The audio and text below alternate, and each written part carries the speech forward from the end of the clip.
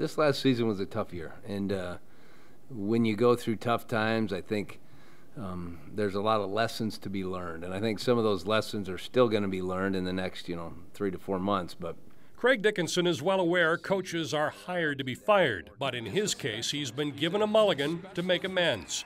The Riders finished at 6 and 12 in 2022. However, what was shocking was how they finished.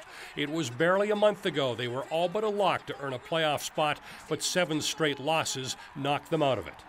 After he was given the assurance his job was safe, Dickenson informed offensive coordinator Jason Maas, plus two other offensive assistants, their contracts would not be renewed. No, I didn't know for sure. Um, but last night I got word that they were going to retain Jeremy and, and myself.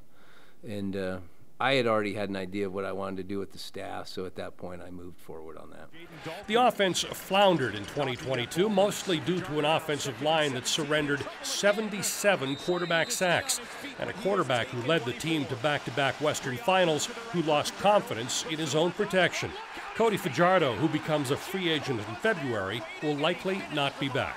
I wish I would have went down with the ship and went down these last two games, and then whatever happens after that happens after that. But the fact that I didn't get to play those last two games really hurt me, uh, and it was really emotional for me. It was the Roughriders' worst season since 2016. Not a long time in sporting circles, but more was expected in 2022 from an organization hosting the Grey Cup.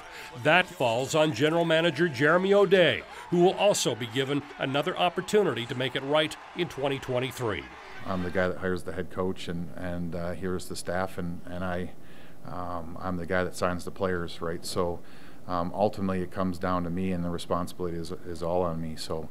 Um, it is my responsibility to make sure that we have a, a, a team that's going to go out there and compete to win every game and ultimately be in uh, in a position at the end of the year where we have an opportunity to, to, to win a Grey Cup. In that regard, they fell woefully short, but in the end, it was felt so many factors were out of O'Day's control, such as COVID and injuries. At the end of the day, uh, you know, I, I just truly believe that he's the the best position to to make the corrections that are required to get us back on track.